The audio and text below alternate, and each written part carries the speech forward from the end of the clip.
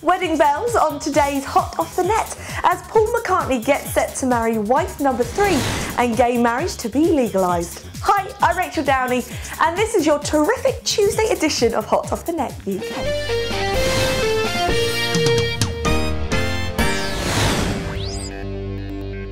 Paul McCartney is set to tie the knot at the same venue where he first married more than 40 years ago.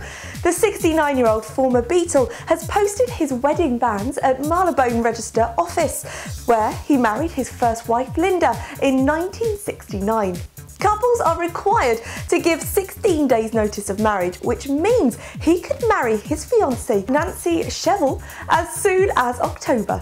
The document lodged at the venue, officially known as Westminster Registrar Office, lists the musician under his full name, James Paul McCartney, and describes him as a business executive. Sir Paul has reportedly turned down Shevell's offer of a prenup.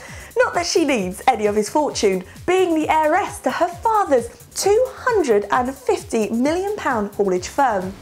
The British government has drawn up plans to introduce same sex civil marriages before the next election in 2015. Equalities Minister Lynne Featherstone said on Saturday. I am delighted to announce today that in March, this government will begin a formal consultation on how to implement equal civil marriage for same sex couples.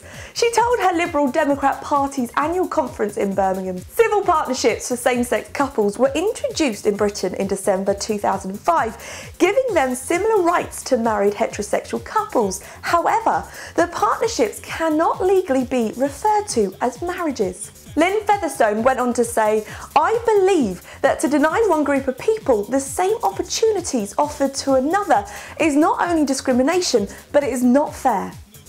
This change is expected to win strong support among the Liberal Democrats, but while Cameron is also said to back the plans, he could face opposition from traditionalist conservatives who believe marriage should only be between a man and a woman.